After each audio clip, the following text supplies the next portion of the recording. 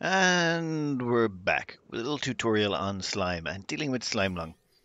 This is one of those subjects that has changed a lot over all the patches that have happened, but now that the release is out, it's time to go through how to deal with it and deal with it safely and effectively.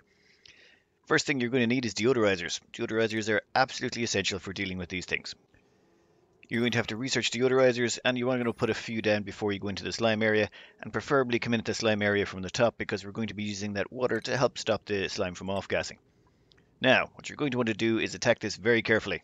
And by very carefully, I mean just dive right in there like you just don't care. Slime is almost, it's almost useless at this point. I don't want to be too, too derogatory of it, but it's not really that dangerous. So, just to demonstrate that, I am going to, these dupes, it's Cycle 58, I don't have Atmos suits, uh, I don't even have a medical center up. They're just going to dive right in here and we're going to demolish this entire slime biome, just in one big fell swoop. We're not even going to bother putting deodorizers in until we've got uh, a little bit into it first. So as you can see, there's lots of polluted oxygen there, lots of slime lung, but I'm not letting any of that slime lung out just yet. Now, once all of them have uh, dug out some of this sedimentary rock, I want some sedimentary rock to make the ladders out of the rest of this. I'll queue up some more ladders there, but this time I'm using sedimentary rock for it because the sedimentary rock is close by and there's no point making your dupes travel long distances. Uh, once you're in, you're in a bit, what you can do is you can start replacing some of these with mesh tiles. Airflow tiles will do in a pinch, and then you're going to stick in some deodorizers on top of them.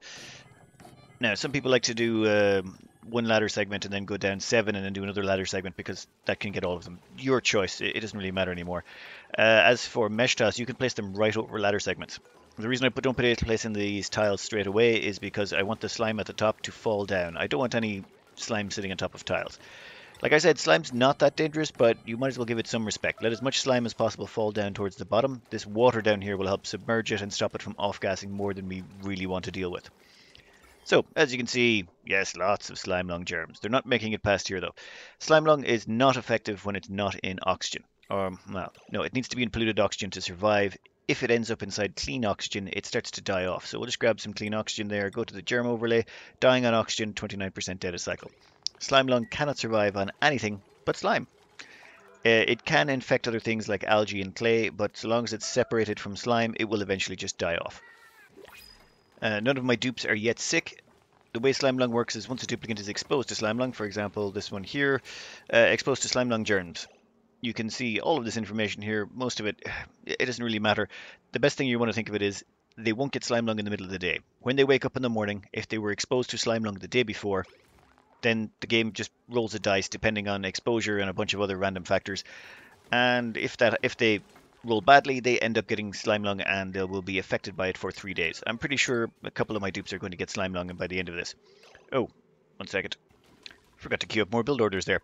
So yes, we are, as you can see, demolishing through this quite quickly and quite quite efficiently. And no sick dupes as of yet. I'll skip it forward a bit until we've got some more of this mined out. So day two of taking out the slime biome, uh, all my dupes have gotten up and still no one sick. Like I said, slime lung, very weak sauce. Bear in mind this is on normal difficulty, not hard difficulty, so this is just average. If you're playing on average difficulty, this is the kind of difficulty you can expect. If you're playing on the harder difficulties, this can get a little bit more tricky. Your dupes will not like getting sick. It affects their stress levels, it does nasty things, and their immune systems don't recover so well, depending on what kind of difficulties you've kicked in. But on average normal difficulty, slime lung, not a bother. We're almost through it here. Once we're down to it, I'm going to show you the right way to finish up and the wrong way to finish up. We'll start with the wrong way first, just so you get a good feel for it. It is the start of the next day, and one of the dupes has gotten sick. Let's uh, go check on Donny Diggo. Donny Diggo has slime lung, their breath is minus 1, their athletics is minus 3, and they have coughing. Uh, contracted by breathing germ-filled polluted oxygen. Time to recovery 3.7 cycles. So for the next 3.7 cycles, they're going to have a debuff to their athletics. Their breath is not going to recover as quickly, which means they're going to have to stop to breathe every so often. And they're going to sneeze, which will sneeze out polluted oxygen with slime lung germs in it. And normally that's not an issue, but as you can see, there's little pieces of polluted oxygen about my base, which is not good. Those pieces of polluted oxygen can harbor those slime lung germs. If the duplicant sneezes in clean oxygen with no polluted oxygen nearby, the their sneeze doesn't give off any germs. Nothing comes out basically. So so long as you keep your your base, your core base clean of that, you shouldn't have a, a sudden massive outbreak. That can happen if you have a lot of dirty oxygen in your base.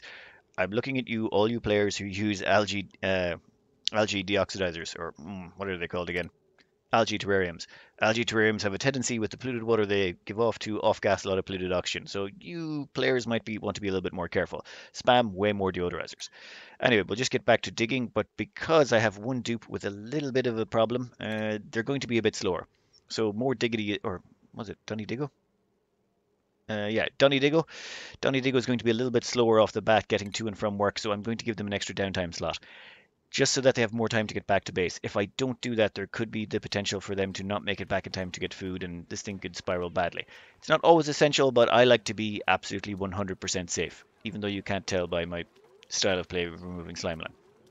Now, as you can see here, we've almost gone through all of that, and if you check the overlay here, you'll see lots of germs, lots of nasty slime lung germs. But we're almost done.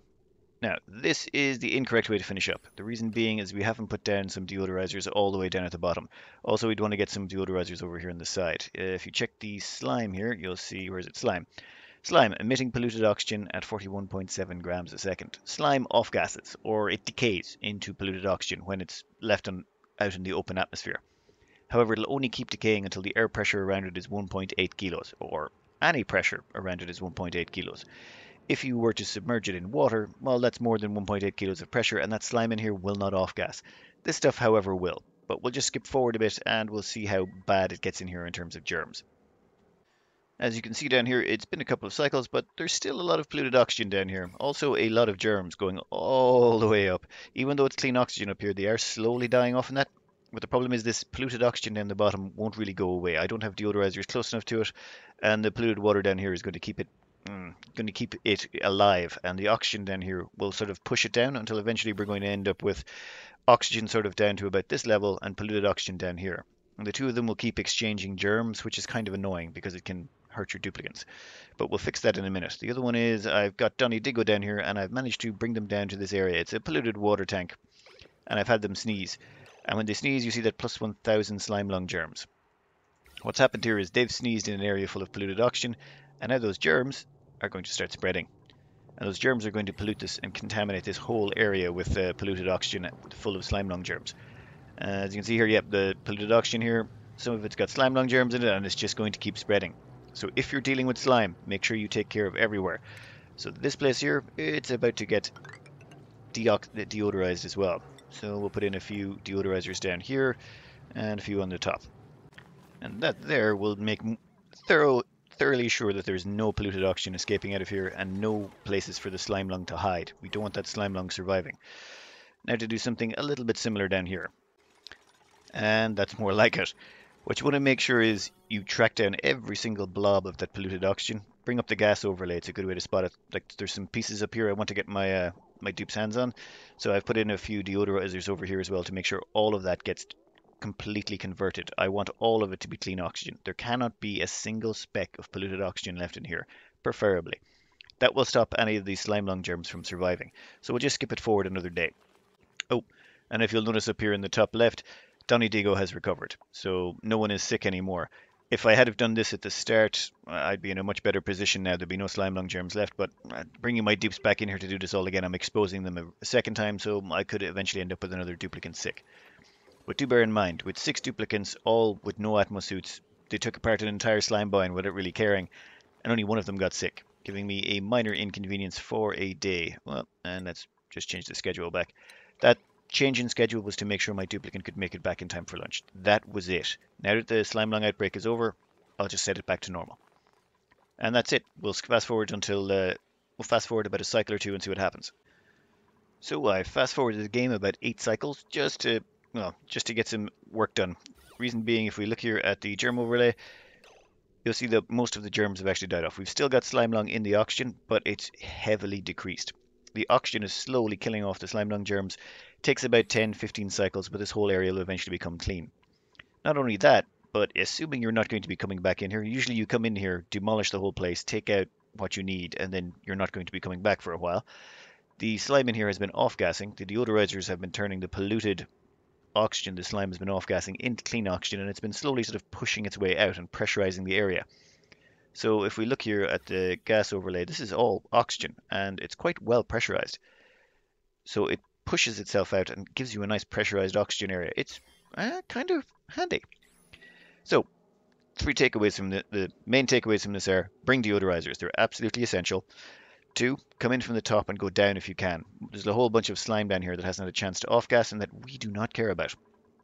Uh, three, bring in some mesh tiles if you can. They're not essential. You can get by with airflow. You can make tiles if you really need to. I prefer to use mesh tiles. That will help you uh, get rid of all the polluted oxygen that's in there. Be prepared to have a dupe or two get sick. It happens. It's not going to kill them. You don't need a medical center. You don't need any tablets. After 3.7 cycles or so, they'll get better. Uh, worst case scenario, just give them an extra schedule on the, give them an extra downtime slot to make sure they can get back to base in time because they're going to be a little bit slower than normal due to the decrease in athletics and the decrease into their ability to breathe and recover their uh, breath. Barring that, it's fairly weak sauce. Slime lung is not that dangerous. Don't worry about it. Don't panic. The only thing to really be cautious about is make sure every single source of polluted oxygen around the area, especially in your main base, especially around any polluted dirt you have, is taken care of with deodorizers. Otherwise, if a duplicant sneezes near that, you can have polluted oxygen running around your base, and then you end up caught in this constant loop of duplicants getting sick, sneezing into the polluted oxygen in your base, and everyone gets sick and it, it, it spirals and it becomes a problem. So just make sure you spam lots of deodorizers and you won't have any issues. Anyway, I think we can cut it out here. That's uh, that's how you deal with slime. Good luck.